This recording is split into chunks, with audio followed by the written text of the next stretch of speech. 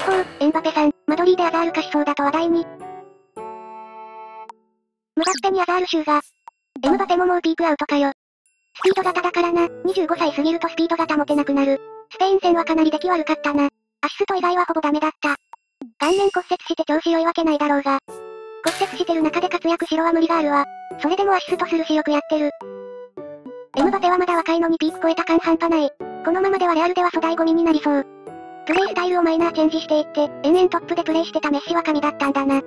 さすがにアザールにはならんよ。練習嫌いでブクブク太るなんてむしろなる方が難しい。CL だとやっぱやべえなこいつって思うんだけど、代表だとさっぱりになってきたな。でも今回はフェイスマスクの影響も大きかっただろうし仕方ないかな。骨折後は全くダメだったな。一時的なものならいいけど。あのフェイスマスクちょっと置いてたし視野狭くなってたんじゃね。ぴったりでも関節視野の範囲は確実に狭くなるし、劣化じゃないこと祈る。この試合に関しては完全に余るムバッペだったな。鼻骨折してまともなフェイスガード作る暇もない状態で試合出てるせいで活躍できなかったって明確な理由あるのに、ピークアウトだってはしゃいでる勢はそうなってほしいだけだろ。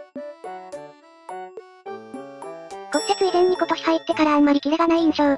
パリでやる気なくなって劣化したと思う。